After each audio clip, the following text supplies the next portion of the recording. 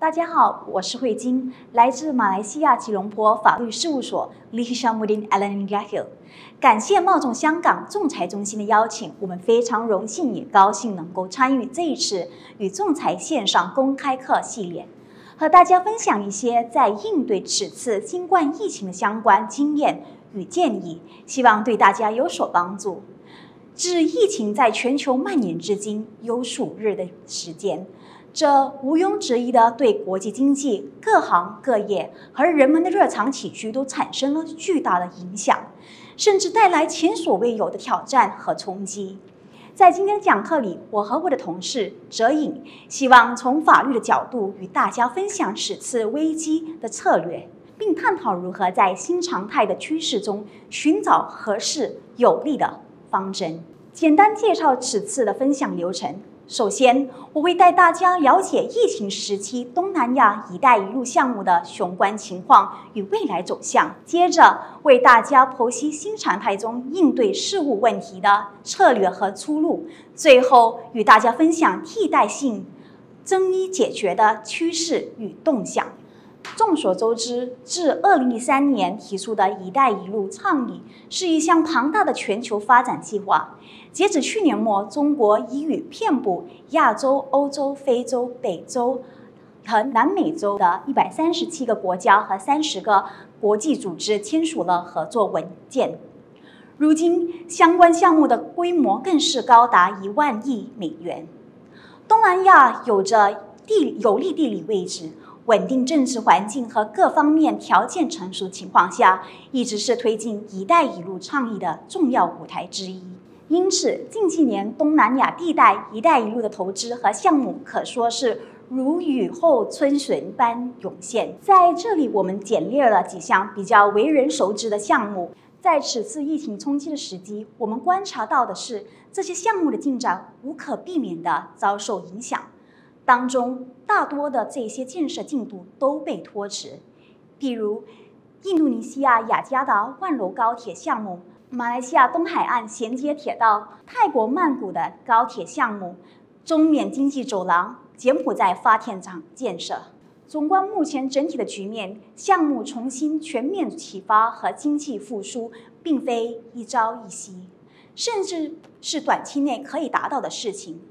在这史无前例的时期，无论是哪个行业、领域、规模大小的公司、项目，在各个方面都难免受到影响。所以，如何在这新常态里寻找并采用适合且有效的应对措施和方策，极为重要。首先，在疫情蔓延的这一段时间，许多公司且面临未能或难以履行合同责任的困境。在这情况下，合同方一般有几个选择：第一，暂停履行合同义务和停工。马来西亚行动管制令至五月放松限制后，大部分的行业被准许在严格遵从标准作业的程序下复工。如果合约方选择继续暂停合同义务的执行，则必须注意相关合同的依据。即是否有任何条款准许合同方在疫情期间暂时履行合同的义务，以免构成违约的行为。举个例子，在马来西亚建筑业常用的合同标本《f i t i g Red Book》一九九九年版本里，假设新冠疫情构成合同中界定为不可抗议条款，这可能是暂停免除受影响方的这个履行合同的责任。可参考第十九点二条。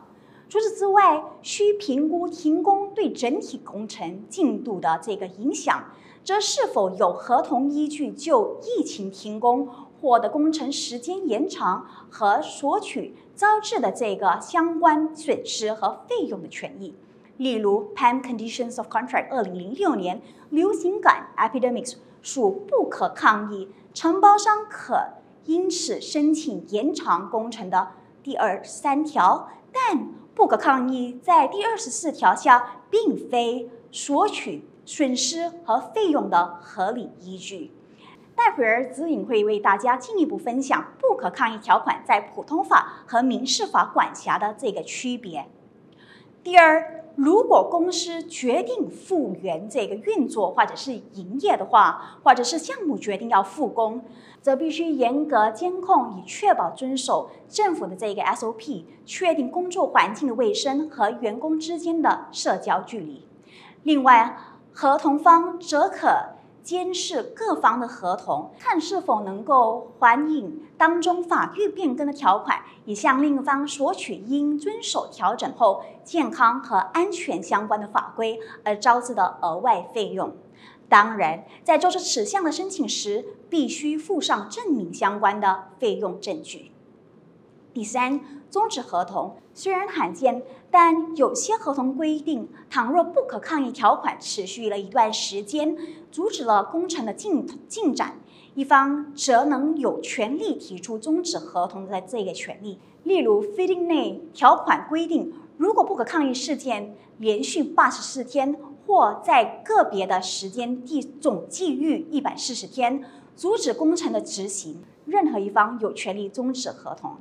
第四也是最后一点，重新协商合同文件，这是维护双方商业利益的成效的最高选择。可考虑的是发出通知，列明一方觉得合同里有需要修订的，比如付款义务的周期或者是款项的这个调整，以促进双方之间的讨论和论坛。这将助于友好解决合同方之间的争端，也避免不必要的这些纠纷解决。对于还未签署的合约或未来的项目，在这里想和大家分享需要注意的几点。首先，随着全球进入居家办公和远程会议的新常态，远程签约及电子合同的效力和实操问题也逐渐备受关注。在马来西亚，电子合同是可以具有法律效力的。一九五零年合同法令与二零零六年电子商务法令允许合约方通过电子通讯订立合同。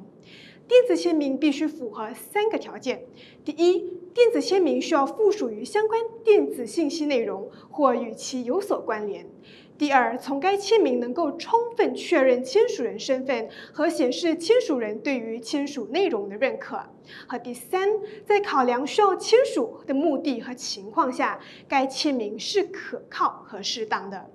接下来，我们来看看关于合约里不可抗力条款的制定。在普通法司法管辖区中，不可抗力条款的适用范围取决于该条款的确切措辞，这与民法司法管辖区的规定不相同，因为后者通常通过民法典赋予不可抗力特定的法律含义。在洽谈中和未来的合同里，合约方需注意合同中不可抗力条款的定义范围是否阐明或涵盖流行病、疾病爆发及当事方无法控制的其他情况之类的通用措辞。除了得查看合约设定的相关通知要求，需要明白的法律原则是。唯有不可抗力事件在签署合约的当下无法被预料，不可抗力条款的援引才可能成立。鉴于疫情当今的肆虐和关于第二波疫情可能性的讨论，对于目前尚未订立的新合同，除非合约条款中明文确定，否则新冠疫情或类似病原体流行病在未来的爆发是否属于可被预料的事件当中，仍是存在争议性。再来是关于争议解决条款的制定，在这之前，在线争议解决在绝大多数的合约争议解决条款当中并不常见。在这方面，合约方可考虑做出的调整包括修改启动争议解决机制的通知需求，比如说是否可在能提交收据证明的前提下，用电邮方式替代手动送达，加入远程会议的选择等等。那如果合约方所主意的最终争议解决方式为仲裁，则可考虑明文确定双方同意在必要的情况下采用在线仲裁。许多仲裁机构已发布了与在线仲裁相关的规则或指南。至于允许和促进立案文书和证据文件的在线提交，以及线上庭审的进行，举个例子。中国贸众最近在其官网上发布了视频庭审规范和视频庭审系统使用指南等相关的资料，供大众参考。全球的疫情情况并未妨碍合约方继续选择以替代性争议解决方式解决纠纷。事实上，根据我们从贸众获悉的资料，在2020年第一季度期间，在中国和香港贸众登记的仲裁和调解新案件数量与去年的同期相比有所增加。在疫情的特殊局势下，在线仲裁热趋普遍，其优势和价值亦得以彰显。其实，在国际仲裁中，由于涉案当事方代表律师和仲裁员往往来自不同的国家与地区，当中互联网技术的使用已非新鲜事。但这一次的事件令使用率大幅度攀升，促使各方采取措施，进一步发展和巩固整个在线仲裁的体系，并提高其在市场上的认可度。虽然在线仲裁可能在某程度上节约了仲裁成本和提高了程序推进的效率，但实际上还是存在不少仍需克服的实操障碍。第一，技术障碍方面，互联网的速度和稳定性会影响文档的上传和下载，以及线上庭审的进行，因此使用者必须确保网线和设备系统的稳定性。此外，远程庭审也可能导致肢体语言、面部表情等等的细微信息传达流失。再来，我们关注物流问题。如果说呢，案件涉及来自世界不同时区的代表律师、仲裁员和证人的远程参与，那时差的问题呢，也可能会对各方造成不同程度的影响。再来是保密性的问题，上载至网络平台上的机密文件外泄和第三方在未经授权和参与方未知的情况下听审，也是备受关注的问题。在这方面，可考虑采取的措施包括使用由仲裁机构搭建的在线案件管理系统，给予仲裁当事人专用账号和密码，以及让参与方签署保密义务和庭审纪律协议。不同司法管辖区的主要仲裁机构皆有提供混合性纠纷解决服务，譬如说贸众的仲裁调解相结合程序，旨在为争议方提供更高效、更灵活的解决方案。与其他对抗性争议解决方式相比，体现东方以和为贵、和谐价价值观的调解，可能更受亚洲国家合约方的青睐。调解广为人知的优势可被概括为：第一。和谐性，它有利于维护或塑造合约方的长远商业合作关系。第二，相对快速且成本效率高。第三，伸缩性强，双方可专注于制定有实际操作性的解决方案。最后是它的保密性，因为调解呢是在完全保密的情况下进行。在二零一九年八月，四十六个国家当中，六十八线以上为参与“一带一路”倡议的国家签署了《新加坡调解公约》，以促进通过调解达成的国际商业和解协议的执行。综合上述调解的优势、事态发展及现今在线调解平台的可用性，相信在未来的日子里将会进一步推动调解作为争议解决途径的流行和认可。谢谢。